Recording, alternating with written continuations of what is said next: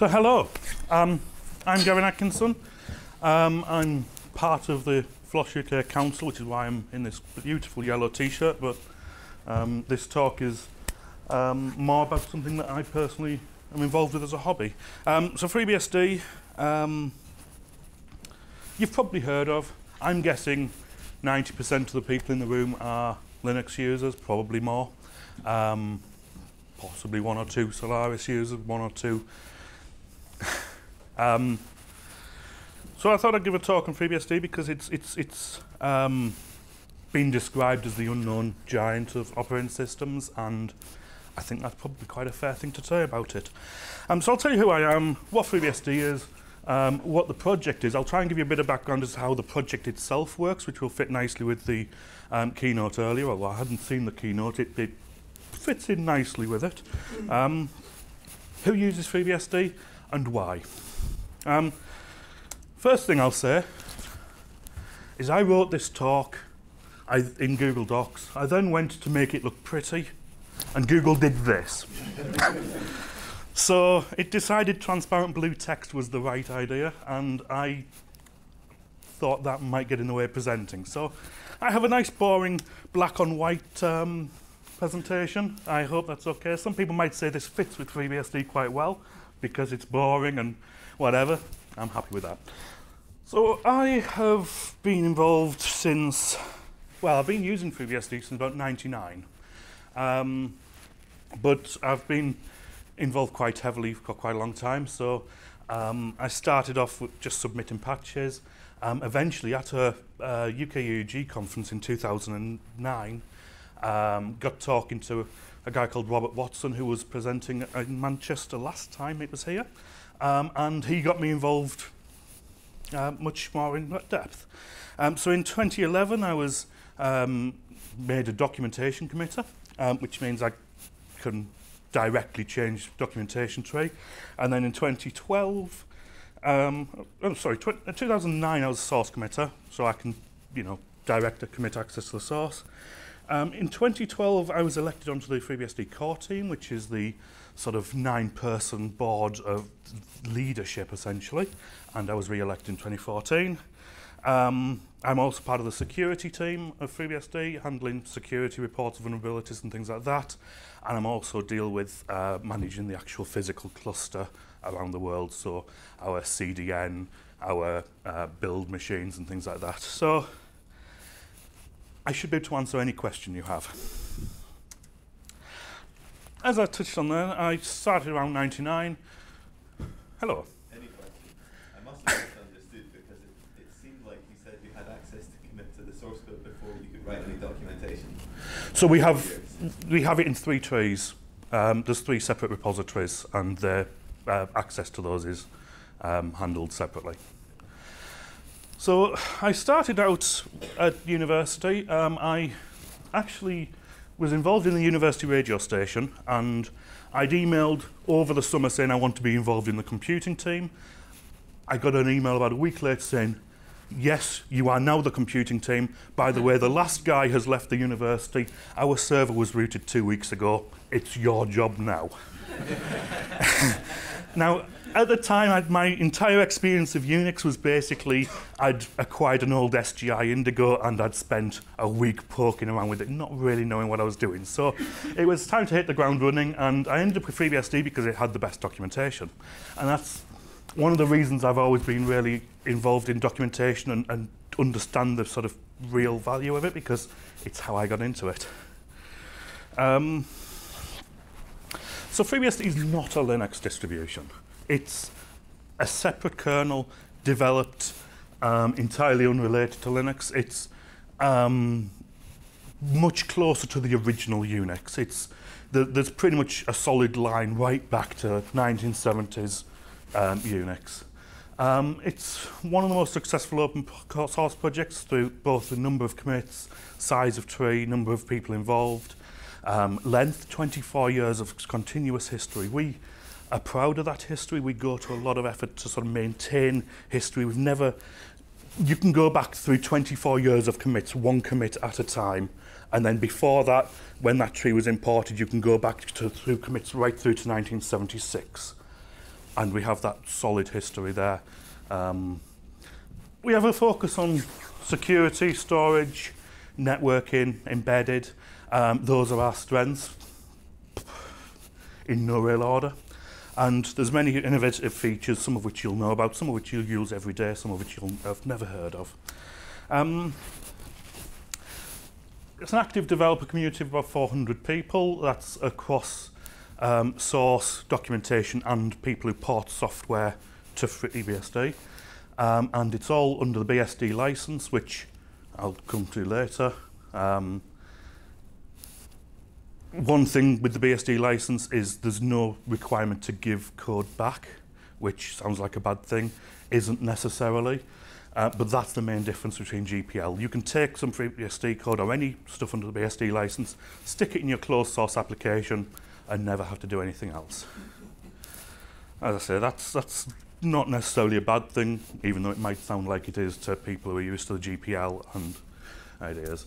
Um, It's an OS, it's a kernel, it's a userland. It's all developed as one.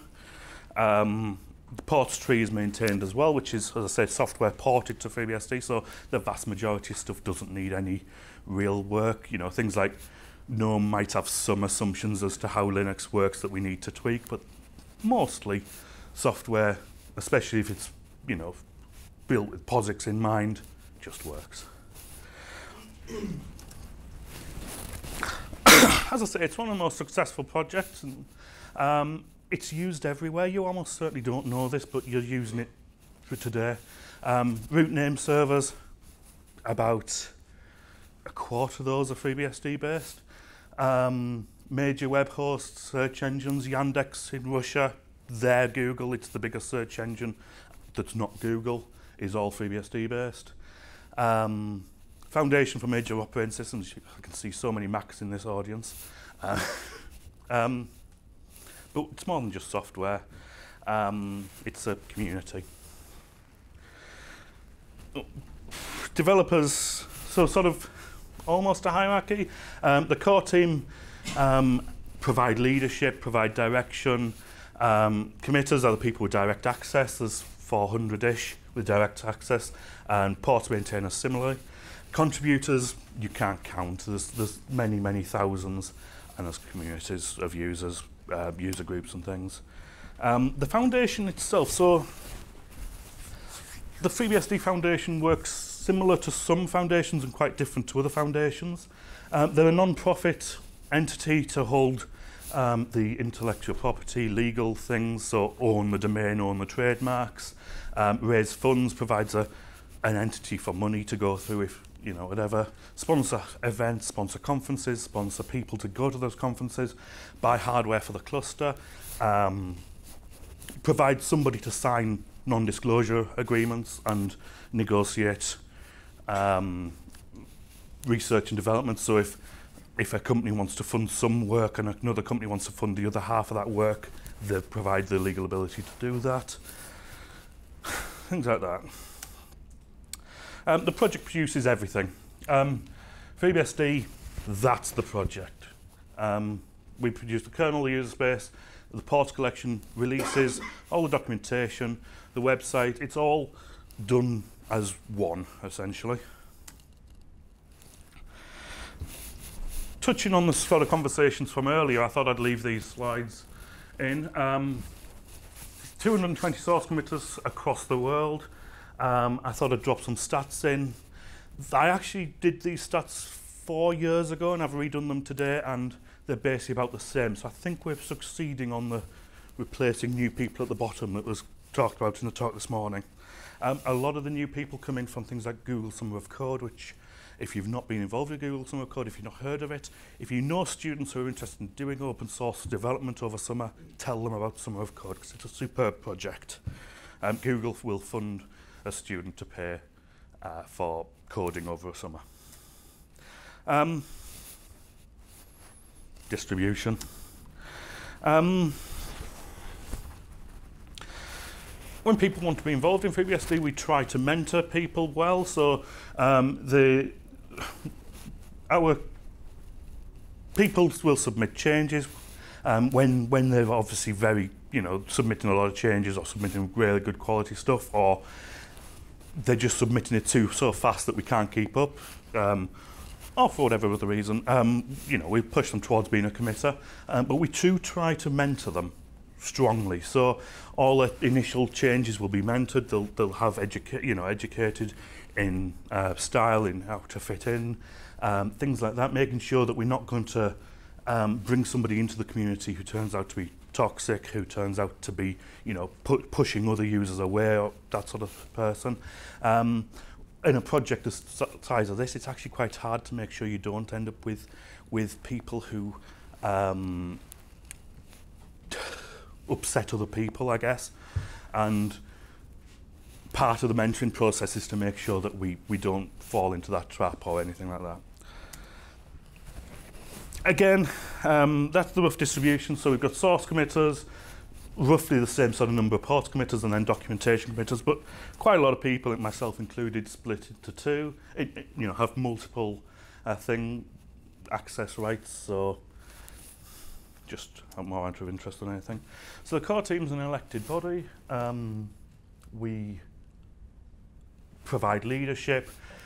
We provide um, approval for new source committers, um, direction, talking to companies, talking to people using um, FreeBSD to get a feel for how they're using it and what would be useful.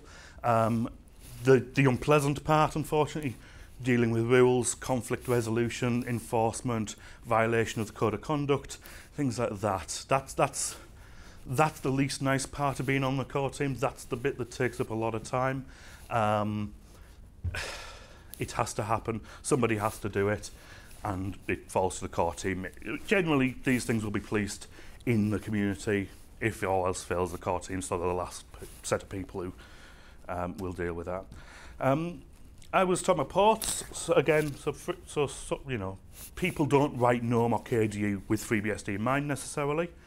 Um, we have people who will make sure that it works well on FreeBSD so there's rough stats. So 200, 200 people who have access to the tree, um, 1,800 people who are named as maintainers for particular ports, and we've got about 27,000 ports right now. Um, pretty much every piece of software you can name will be in there. Again, there's, there's, there's when people maintain ports and submit sufficient numbers of changes or whatever, they, you know, we will, we will encourage them to become committers. That's an old diagram. I actually couldn't find a new one, but just as a rough sort of feel for how you can tell how old it is because we haven't used CVS for 15 years. Um, but the layout's roughly the same. So the core team and the foundation work together. Um, the neither have control over the other. We both sort of try and manage our own separate areas and um, jointly lead kind of thing. So as I say, uh, it's described as the unknown giant. Um, it's becoming less and less unknown, it has to be said. Um, we have a lot of people doing a lot of shifting of data with it. Um, list of companies you'll have heard of who were massively doing it. So Netflix basically stream all of their video from FreeBSD now. Um, NASA are doing 100 gigabit firewalling with FreeBSD because that's they've found that that's the only way they can do it. Um, Yandex I've mentioned is Russia's equivalent to Google. Um, Orange, especially the Orange.fr um, entire network is FreeBSD. Um, other companies. pfSense, MonoWall and FreeNAS, you've likely heard of all three. You probably use one or two of them. Um, FreeBSD based. FreeBSD is used a lot in embedded stuff as well. Um, I've mentioned that Apple, obviously OS X is FreeBSD based. Juniper, all of their routers are FreeBSD based. Um, Cisco, Dell, Dell's, um, a lot of their appliances are. Um, Isilon and NetApp, two file store NAS vendors, and Panasas as well. Um, it's everywhere. I'm just going to touch on Netflix. Well, I'm going to touch on three just because I find them fascinating. So Netflix um, serve their data, all the, all the video data comes from FreeBSD, and they basically ship appliances that sit in the ISP to, so that it's nice and close to um, the actual consumers. Um, they are currently feeding from single CPU boxes just under 90 gigabits of encrypted on the fly traffic from single FreeBSD machine. Um, they account for about 30, 35, 37% of the entire US traffic at peak. it's a lot of bandwidth.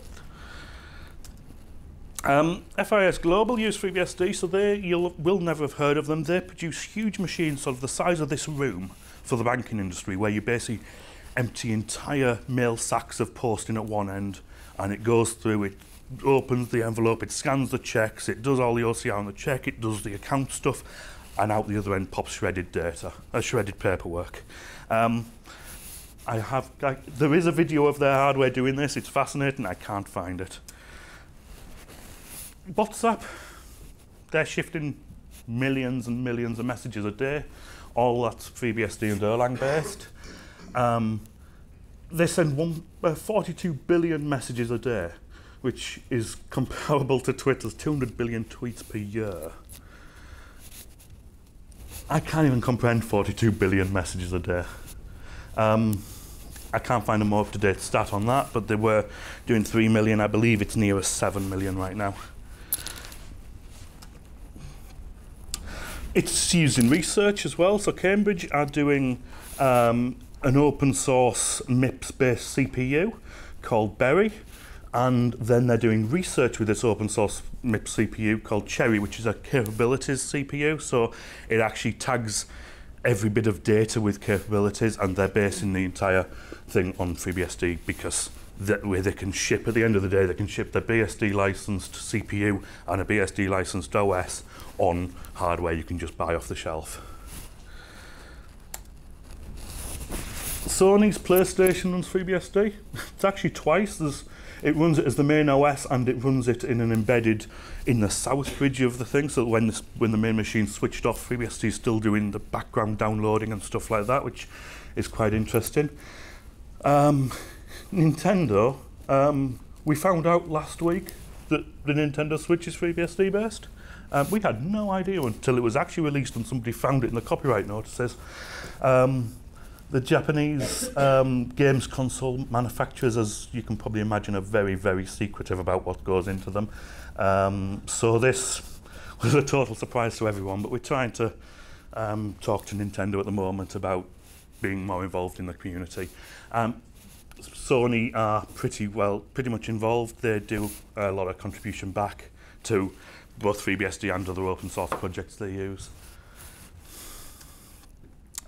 Um, nothing unexpected on there. Um, I think it's great. You should too.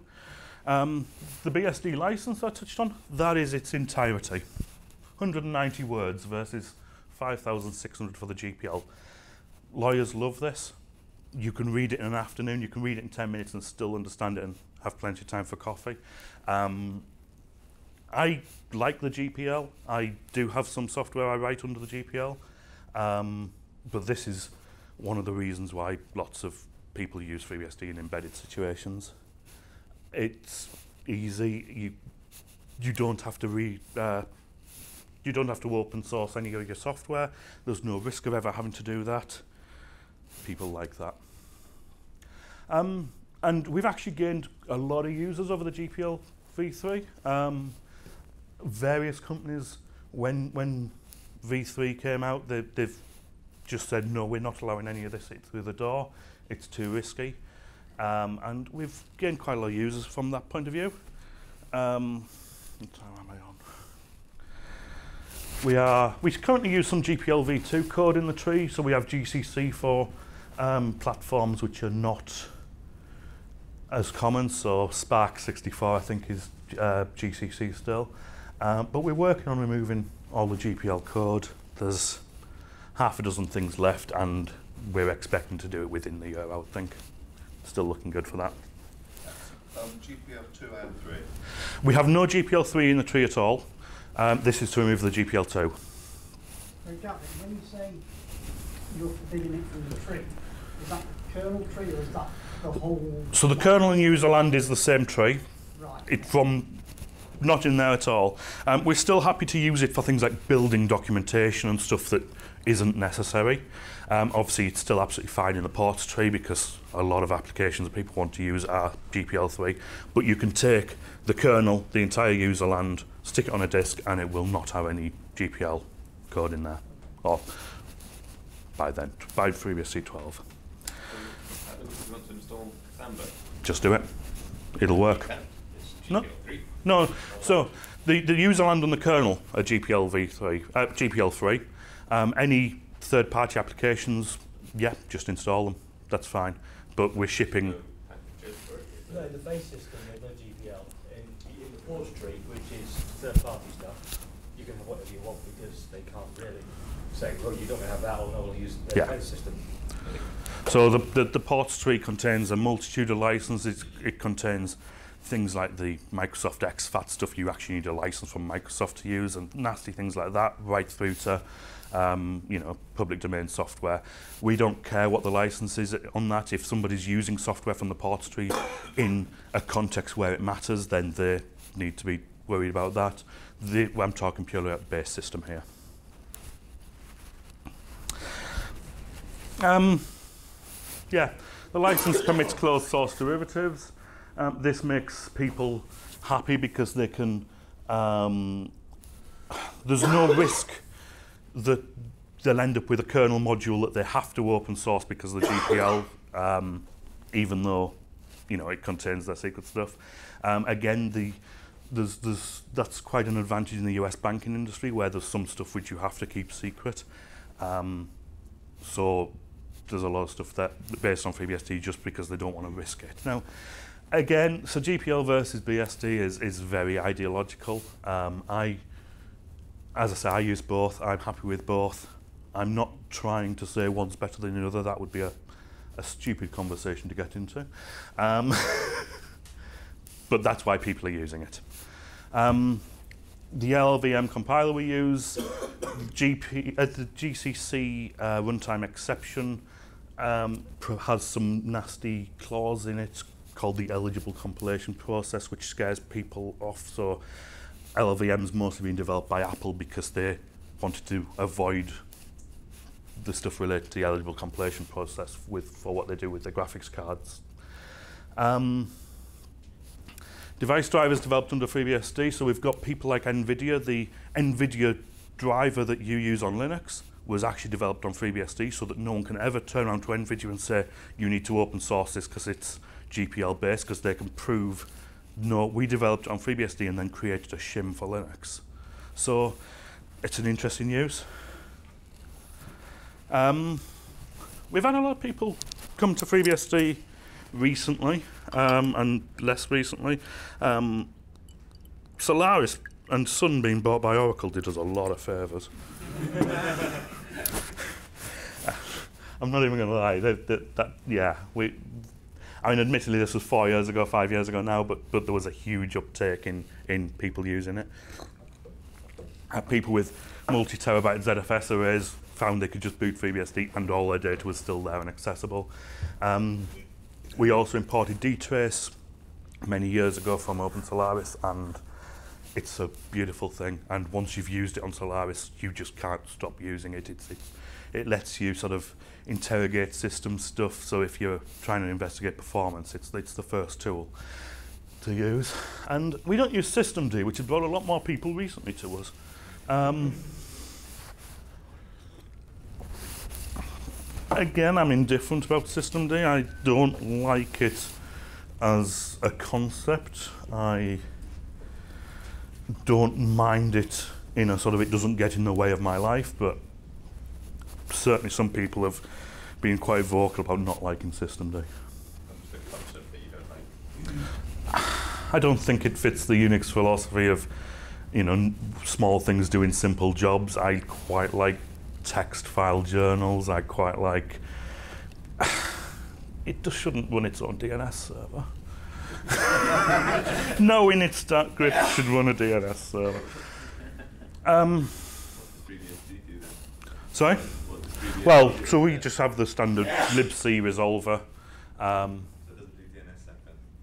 uh, we well we actually ship uh, unbound if you want to do DNSSEC and it's just an enableable default in the installer. Um, yeah.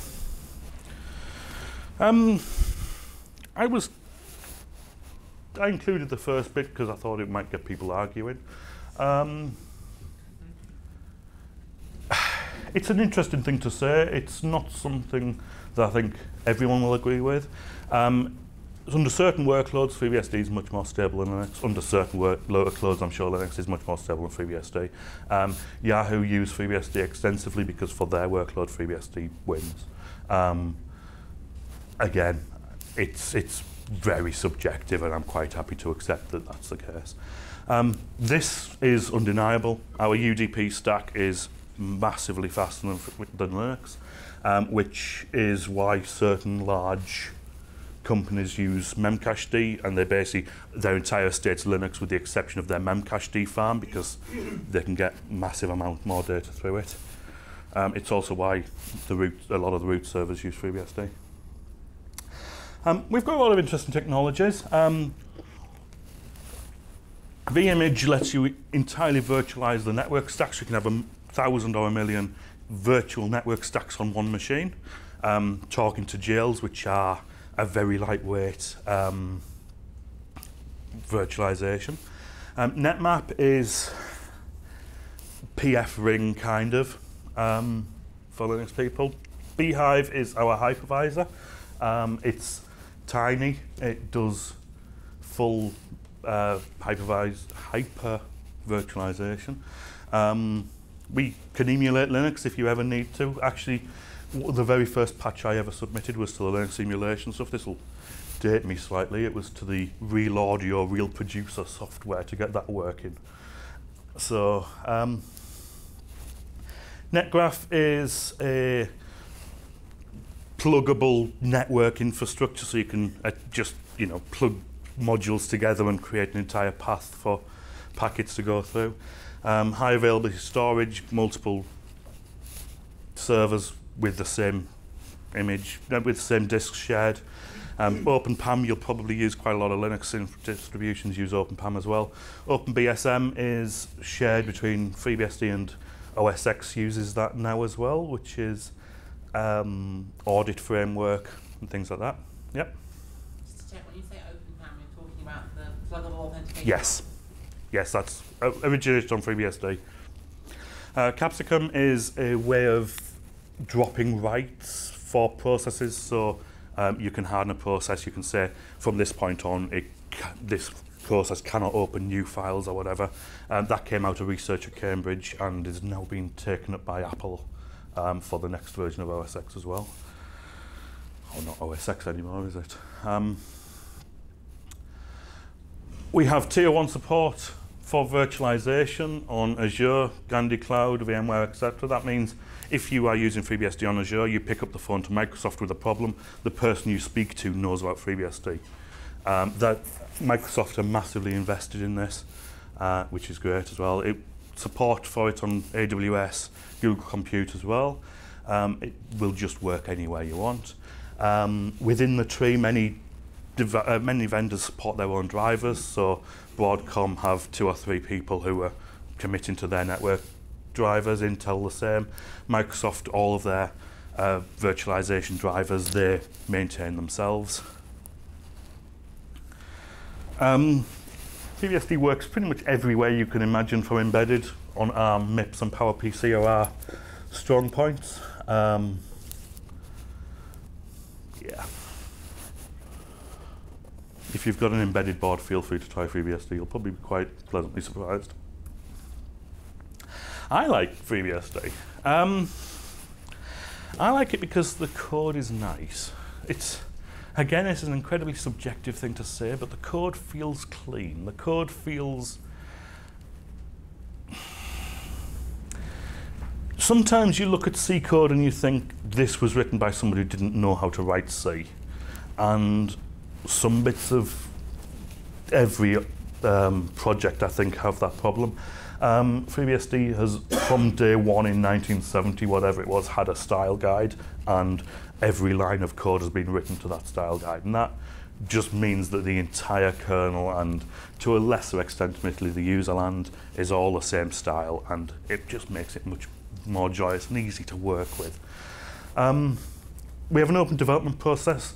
Basically, the only mailing list which is not public is the core mailing list.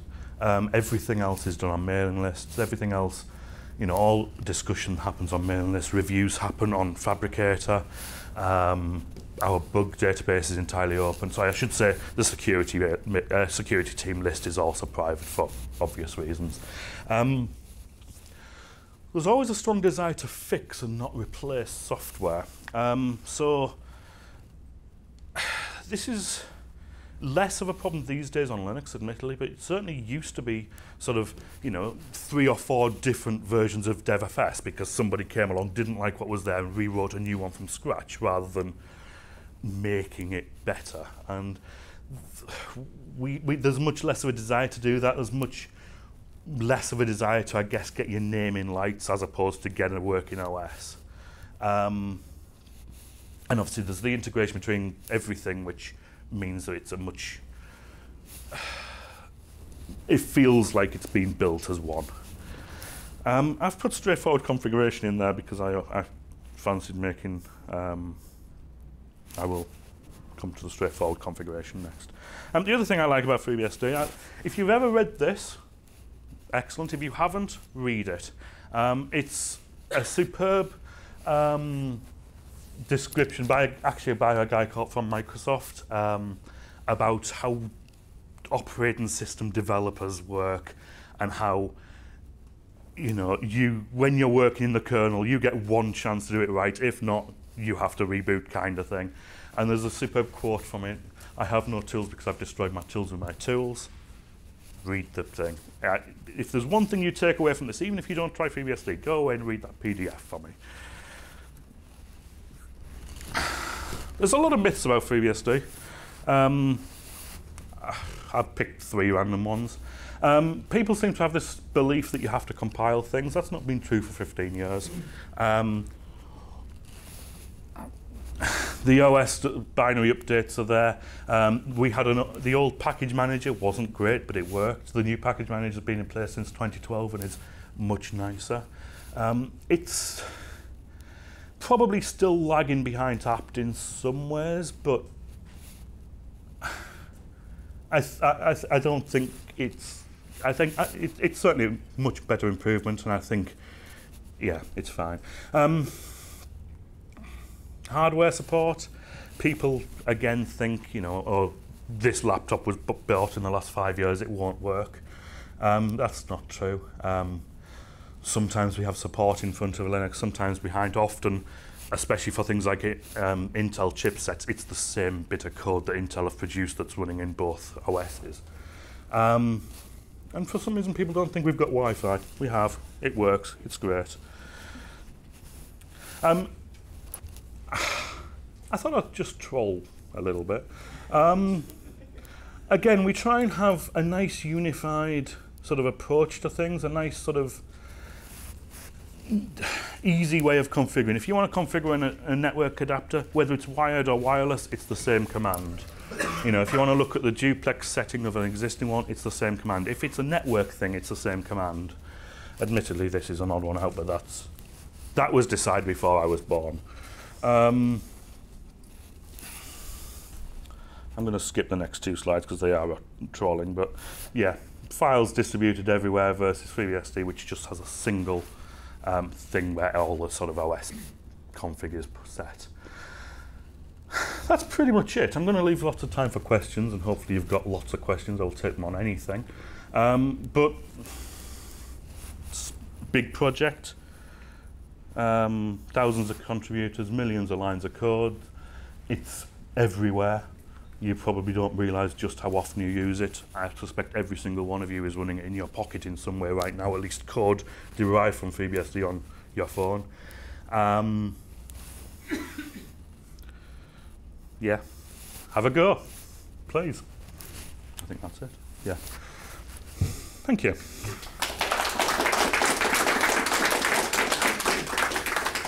I have seven minutes for questions, apparently. Hello.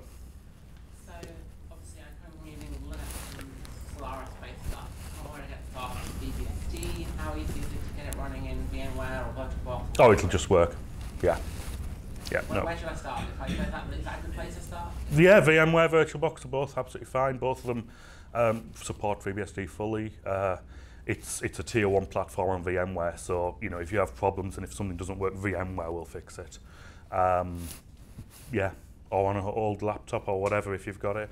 Um, you for a bog standard machine, you don't need much memory at all. I mean, you could even install it on something with like 256 meg and get a feel for it. We'll, we'll quite happy one on 32 meg uh, MIPS routers. So, yeah, admittedly, 32 meg's tight, but yeah, you, you can try it wherever you want. Paul.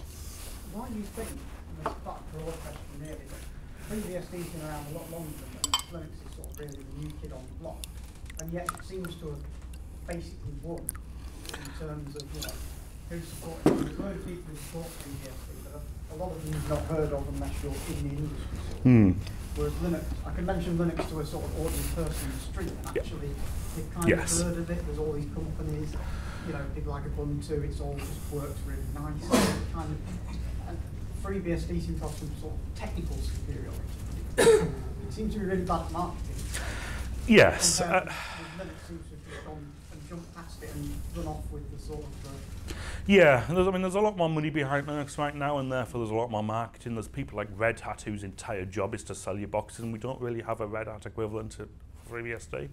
Um, so as a result, yes, the marketing suffers quite a bit considerably. Um, there were there was a lawsuit back in '93 that, which is infamous, which sort of massively held FreeBSD back just at the time Linux was taking off. So right back in 93, you know, at that point you either had the risk of FreeBSD or the unknown risk of Linux and lawyers like prefer unknown risk to known risk, I think. When, when the known risk is we might need to switch this off. Um, it's changing now uh, a bit. Linux is always going to be the bigger name, I think. Um, I can't see that changing anytime soon. Um, but when we've got people like Netflix shouting from the rooftops about how FreeBSD is doing so well for them, and, and you know when they're pushing 90 gigabits of data and they're uh, you, the, the commenting on blog posts from the BBC where they're proud of getting 15 gigabits out of one of their Linux boxes, it's quite amusing. Um, but I think it's I don't know. Yeah, marketing is something we're not doing well. and that's all server side stuff as well. That, that Netflix side, really interesting technical person. Mm. If you, if you do technical. As a normal person, it's like, can I run it on my laptop? Yeah, I know the answer is yes, but and, and, and that's the problem. So, so from an from an end user point of view, if you just have a desktop, it probably doesn't matter what you're running underneath it. If you're just running Apache, you probably don't care again, um, and that makes it quite a hard sell because if if you're not pushing massive amounts of data, then it doesn't matter what you do. Um, so why wouldn't you go with what you already know? Um, uh, it, it's a hard problem to solve, and I don't really have an answer to that. Did someone else have their hand up? Yep. Um, wh- where do you see your relationship with um, the other BSD? We have a good uh, relationship. It, it, it's a lot better than it used to be. Um, so going back 10, 15 years, there was passionate hatred through to strong distrust, somewhere between. Um, these days, I mean, so there's there's three or four huge conferences each year, and they're all joint. Um, there's a lot of code sharing between. There's a lot of um, involvement between. So, for example, Summer of Code. Um, this year FreeBSD and NetBSD have got in, OpenBSD didn't, but we'll be saying to them, look, if you you know, want to mentor somebody for something that is jointly useful for both of us, then that's cool. There's, there's, there's a lot more interaction. I mean, we're all working towards different goals and we're all working towards different um, beliefs as to how the world should look. And in some ways that means there's no people, you're not stepping on each other's toes. Um, but generally, and, and we have lots of people who are involved in multiple projects as well. So there's people who are both FreeBSD and NetBSD and indeed OpenBSD developers. There's a lot of um, drivers shared, so some of our Wi-Fi drivers come from OpenBSD and vice versa. Yeah, we're quite friendly. Any, did you? No, is that any, any more? Yep. Do you ever actually have um, the manufacturers come to essentially, how do they approach when they, because obviously using a lot of FreeBSD, do they just work it out themselves? Do many of them come over and say, ah, how do I do this? Because they either making something new or they've broken something?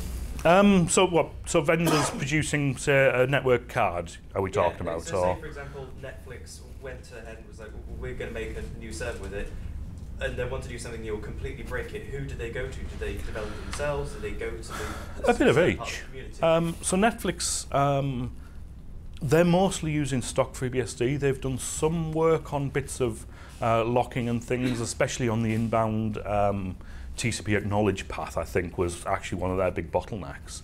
Um, so they've done the development work on that, but mostly people, it's it just work with the community. You know, if you've got something that occasionally crashes when you poke it in a particular way.